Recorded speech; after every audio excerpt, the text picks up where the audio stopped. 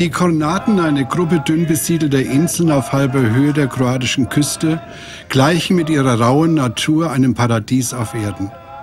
Die heutige Besiedlung gibt Zeugnis davon, wie das Leben der Menschen war, die zwar jetzt auf einer anderen Insel oder auf dem Festland leben, aber immer noch Besitz auf den Kornaten haben.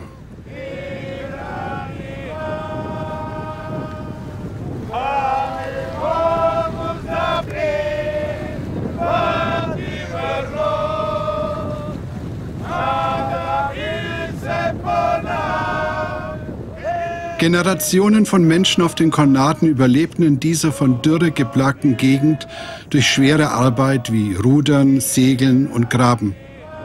Sie hatten ständig mit der See zu kämpfen, die in wenigen Augenblicken ihr stürmisches Angesicht zeigen konnte. Auch der dürre Boden kannte kein Erbarmen. Über die Jahrhunderte mühten sie sich, dem Boden Früchte abzuringen, nur um zu überleben.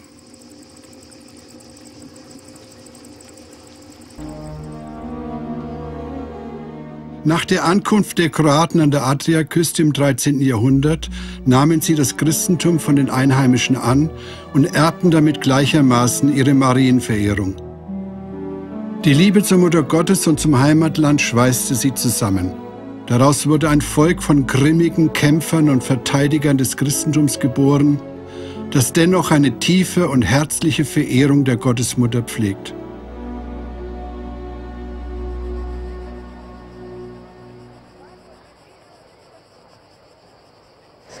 Gospodin s vama.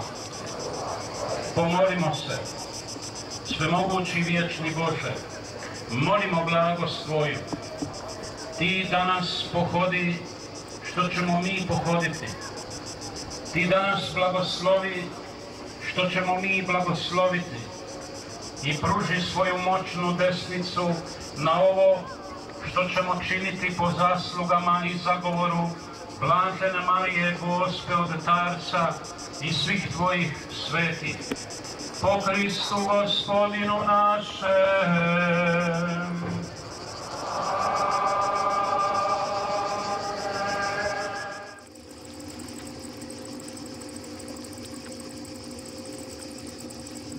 Der 80-jährige Kresimir Skracic aus Murta ist Fischer und Bootsbauer. Er kann sich gut an die harschen Lebensbedingungen der Inselbewohner erinnern. Es war immer riskant, zwischen den Inseln zu segeln oder zu rudern.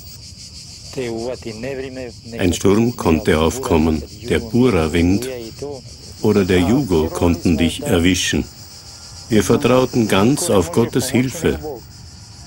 Wir waren so arm, dass wir nicht einmal das tägliche Brot hatten.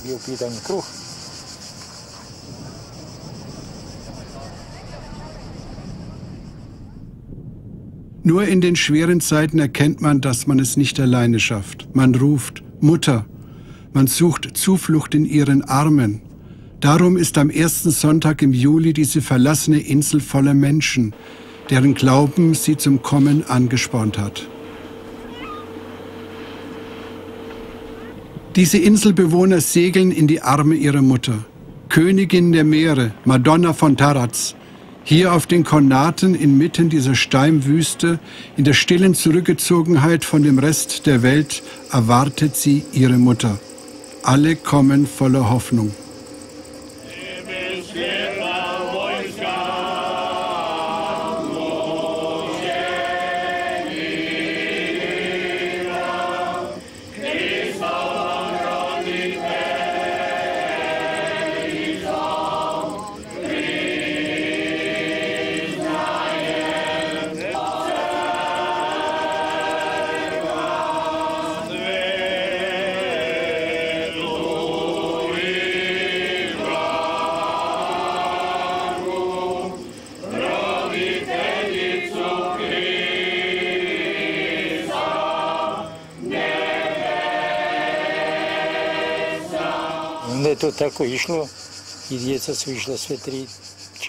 Meine vier Töchter haben in Zagreb studiert.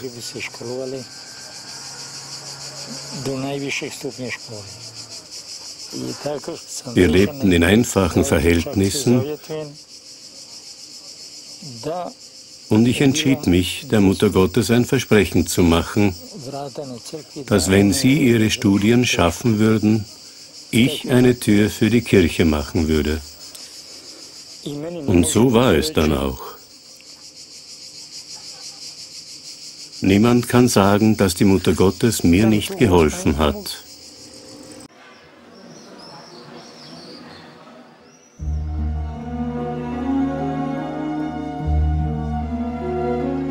Die Liebe zur Mutter Gottes lebt seit fast 1400 Jahren in den Herzen der Kroaten. Die ersten künstlerischen Darstellungen zeigen das Bild der Gottesmutter. Es wurde in Biskupija in der Nähe der Stadt Knin gefunden. Für den kroatischen König Zvonimir war die Fertigstellung der Marienkirche 1078 sein Geschenk und das seines Volkes an Maria, die Königin der Kroaten. In ihr findet man auf einem Giebelstein ein Abbild weiblicher Schönheit, der Mutter aller Kroaten, der Mutter des Königreiches. Papst Johannes Paul II. segnete während der Romwallfahrt der Kroaten das kostbare Tegurium und nannte es die kroatische Pilgergospa. Es ist ein Symbol für die kroatische Geschichte, den Glauben und die Gemeinschaft, die die Kroaten an ihre Identität erinnert und sie drängt, ihren Taufbund treu zu bewahren. Pater Peter Lubina ist Mariologe und ordentliches Mitglied der Internationalen Päpstlichen Marianischen Akademie und Sekretär des Kroatischen Marianischen Institutes. Die Kroaten erwiesen sich als besonders starke Verehrer in schweren Zeiten. Man kann sagen, dass die kroatische Geschichte und die Verehrung der Gottesmutter Hand in Hand gingen.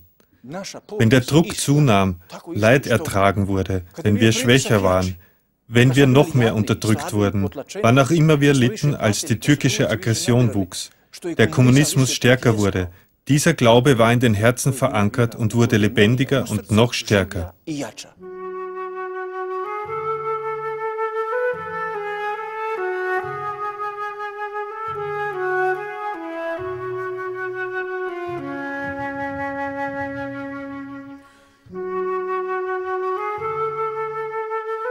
Unterschiedlichste Ausdrucksformen derselben Liebe zur Mutter Gottes findet man überall, wo Kroaten leben.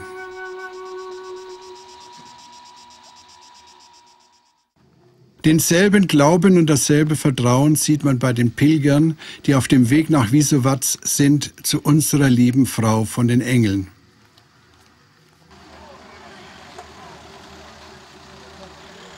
Diese Wallfahrt überdauerte die Jahrhunderte. Es ist in die Herzen und Erinnerungen der Menschen eingeprägt, noch aus der Zeit, als die Grenze sich ständig veränderte und als das Ottomanische Reich sich ausweitete und Gebiete verloren gingen. Es war ein Zeitalter, in dem die einzige wirkliche Sicherheit in einem scharfen Schwert in den Händen der Männer und im Rosenkranz in den Händen der Mütter bestand. Und die Mutter dieser Insel ist die Mutter aller Mütter.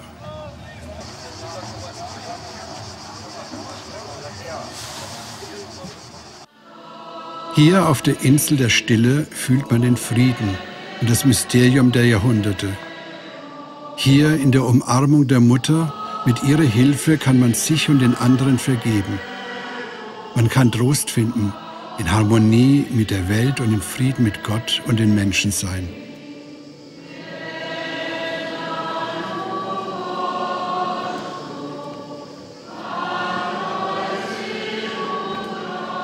Und dort kannst du in aller Einfachheit dein Innerstes erkennen und in dein Herz gelangen.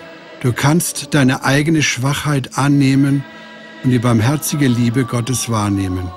Der Universitätsprofessor Marko Rodocic blickt zurück auf seine erste Wallfahrt. Ich erinnere mich daran, wie ich als Kind mit etwa zwölf Jahren zu Fuß mit meiner Mutter nach Wisowac kam. Das waren ungefähr 30 Kilometer, für die wir zwei Tage benötigten. Dort schliefen wir normalerweise auf dem Hügel oder in Wisowac selber. Immer das gleiche Ritual und am Abend ging es nach Hause. Es war ein spiritueller Genuss. Man empfand einen geistlichen Durst nach Gott, nach dem Himmel. In Wisowas zu sein, war für mich als Junge eine wunderbare Erfahrung. Wiesowac lässt niemanden unberührt. Srinka Kuluschitz, Wirtschaftsstudentin aus Zagreb, gibt Zeugnis davon. Die Insel Visovac ist ein besonderer Platz, eine Oase, wo man Trost findet, beten kann und zur Ruhe kommt und den inneren Frieden findet. Hier finde ich Frieden auf allen Ebenen.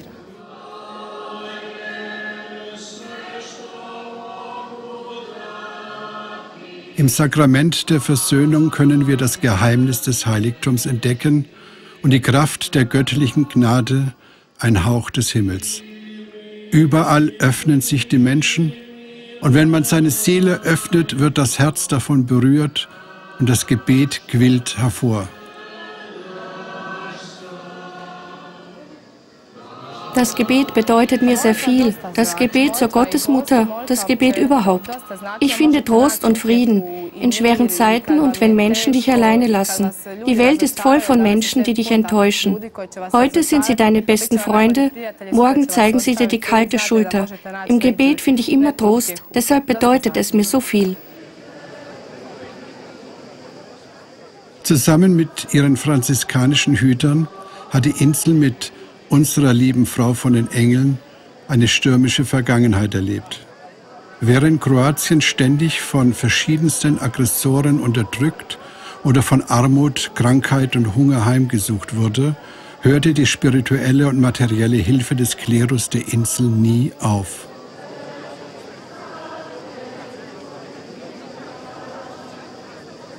Seit Jahrhunderten symbolisieren Wisovac und die Gospa das Überleben für die Menschen, sowohl für den Glauben als auch für das kroatische Volk. Ohne die Franziskaner und den Glauben dort gäbe es weder Kroaten noch Kroatien. Eine Mutter bedeutet Liebe, selbstloses Geben, Fürsorge. Für alle Zeiten ist die Mutter Gottes, die Mutter des Himmels, ein Zeichen für Liebe, Glaube und Vertrauen. Gebete und Fürbitten an die Mutter werden ihr auf der ganzen Welt mit demselben Vertrauen ans Herz gelegt. Jedes Herz kennt die Kraft der Mutterliebe. Kroaten sind keine Ausnahme. Sie sind auf ihre Weise eine Perle des Rosenkranzes, der die Gebete der ganzen Welt verbindet.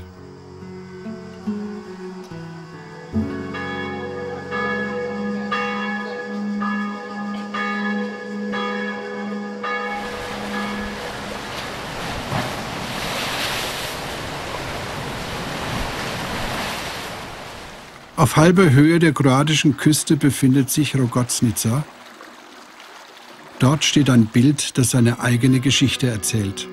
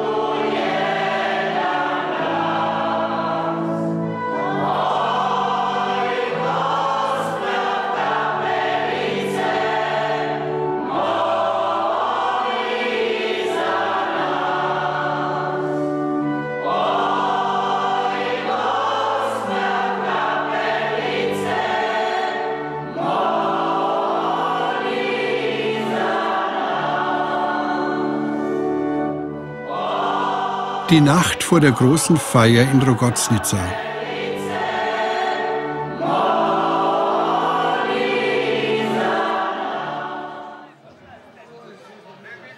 Maria Medic tut sich schwer, das auszudrücken, was ihr die Gottesmutter bedeutet. Die Gottesmutter bedeutet mir alles. Sie hat immer über uns